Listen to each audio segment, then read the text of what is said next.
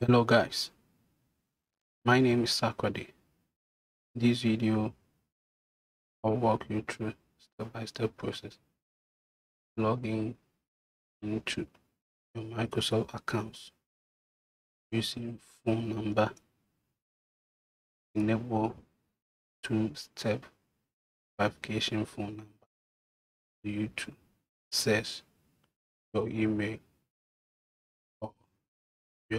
Microsoft Web Portal. So to start, click on any browser of your choice. Address bar,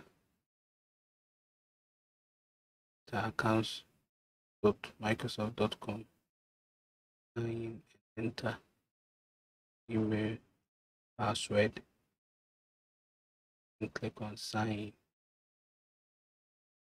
from use verification method or two-step verification method to access your web portal. So here I will choose phone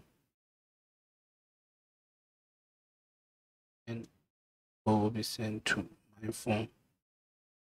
Then I copy the code, paste it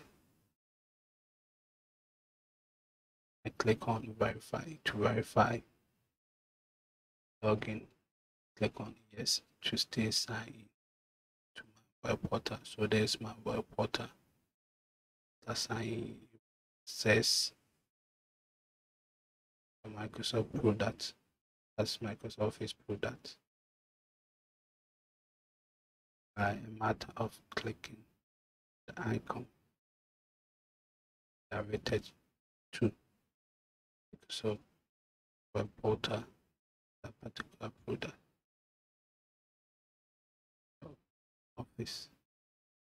thank you for watching this video. Please kindly subscribe to receive an update. More information under the description. Click on link to the post to find more information on our website. How you can use um,